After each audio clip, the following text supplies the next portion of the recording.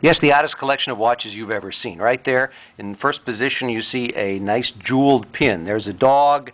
We have a nice uh, butterfly, high button shoes.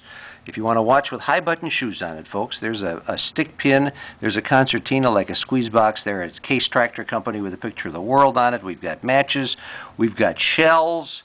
We've got a Holy Lady, probably from the Bible, right there. Of course, there's Jesus, and uh, we have a uh, uh, uh, some kind of a ceramic bell. There's a bidet. Everybody wants a watch with a bidet on it. Black Cow, nice beverage. Husky Oil Company. Roadrunner gasoline. Master Petroleum. Keep 'em flying. Raw milk, whatever that means. Who knows?